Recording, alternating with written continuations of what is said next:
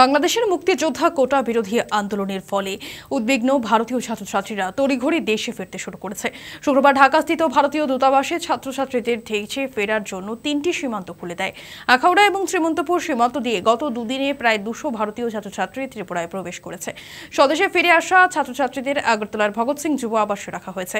ভারতীয় ছাত্রদের দেশে ফেরানোর জন্য আখাউড়া, আগরতলা, বেনাপোল, পেট্রোপোল এবং দর্শনাগীদের সীমান্তে বিএসএফকে সজাগ রাখা হয়েছে।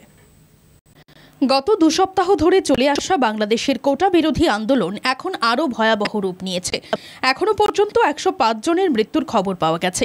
নিহতদের মধ্যে যেমন রয়েছে আন্দোলনকারী, তেমন বহু পুলিশ এবং সেনাকর্মীও রয়েছে। এই পরিস্থিতিতে উদ্বিগ্ন হয়ে পড়েছেন বাংলাদেশে বসবাসকারী ভারতীয়রা।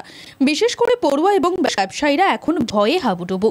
এখনও পর্যন্ত দেশে ফিরেছেন ছয় শতাধিক ভারতীয় পড়ুয়া, আর প্রায় সাড়ে চোদ্দ হাজার ভারতীয় আটকে পড়েছে বাংলাদেশে। জানা গেছে, আগরতলার নিকটবর্তী আখাউড়া, সোনামুড়ার শ্রীমন্তপুর, মেঘালয়ের ডাউকি দিয়ে ভারতে ফিরছেন পড়ুয়ারা। পাশাপাশি আসাম, মিজোরাম ও পশ্চিমবঙ্গের পেট্রোপোল সীমান্ত দিয়ে দেশে ফিরছেন ভারতীয়রা। তাদের মধ্যে উত্তরপ্রদেশ, হরিয়ানা, কাশ্মীর, পশ্চিমবঙ্গ এবং ত্রিপুরার ছাত্রছাত্রী রয়েছে।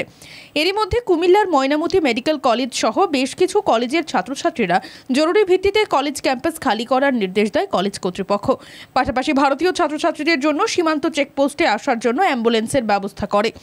এদিন দুপুর একটা নাগাদ সোনামুড়া শ্রীমন্তপুর সীমান্ত দিয়ে শতাধিক ছাত্রছাত্রী দেশে এসে পৌঁছায় সেই সাথে আখাউড়া সীমান্ত দিয়ে দেশে ফিরে আরও ছত্রিশ জন ভারতীয়দের দেশে ফেরার জন্য সমস্ত ধরনের আয়োজন করে রাখে বিএসএফ জওয়ানরা একাশি নম্বরের টেলিকম কমান্ডিং অফিসার রাকেশ সিনহার তত্ত্বাবধানে শ্রীমন্তপুর সীমান্ত দিয়ে সফল প্রত্যাবর্তন হয় ছাত্রছাত্রীদের দেশে ফিরে স্বস্তির নিঃশ্বাস ফেলল ছাত্রছাত্রীরা सैफी उत्तराखंड से और इन हमारी गवर्नमेंट ये गवर्नमेंट की जो हमें सुविधाएँ दी हैं और बहुत अच्छे से दिया हमारा वार्म अप बहुत अच्छे से किया लेकिन अभी सिचुएशन ऐसी है कि सडनली सिचुएशन बहुत ड्रेस्टिकली चेंज हुई है तो वी आर रिक्वेस्टिंग यू ये हमारी जो गवर्नमेंट है कि प्राइसेस हमारा जो ट्रांसपोर्टेशन है पहली बात तो ये जो अगरतला तक रिस्पॉन्सिबिलिटी स्टेट गवर्नमेंट ने लिया थैंक यू सो मच हम आपके बहुत ज़्यादा आभारी हैं। Thank you thank you so much की तरफ़ से B S F B S F की तरफ़ से बहुत we are very thank you लेकिन अब हमारा मसला ये हो रहा है कि हमें अगरतला से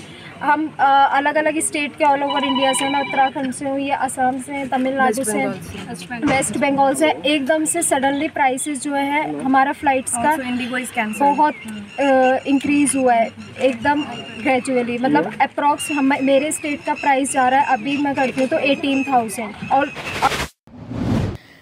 বাংলাদেশের বিভিন্ন কলেজ ও বিশ্ববিদ্যালয়ে ক্রমাগত শিক্ষার্থীদের বিক্ষোভ ও আইন শৃঙ্খলার অবনতির কারণে ভারতীয় হাইকমিশন ভারতীয় শিক্ষার্থীদের যত তাড়াতাড়ি দেশে ফিরে আসার নির্দেশ দেয়।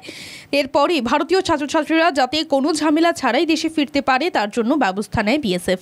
ভারতীয়দের যথাযথভাবে স্বাগত জানাতে চা, টিফিন ও পরিবহনের ব্যবস্থা রাখা হয়। প্রয়োজনে তাদের প্রাথমিক চিকিৎসা দেওয়া হচ্ছে। আগরতলা থেকে বিভিন্ন ধরনের পরিবহন সম্পর্কে তাদের অবহিত করা হচ্ছে। Bureau report, Agartala TV.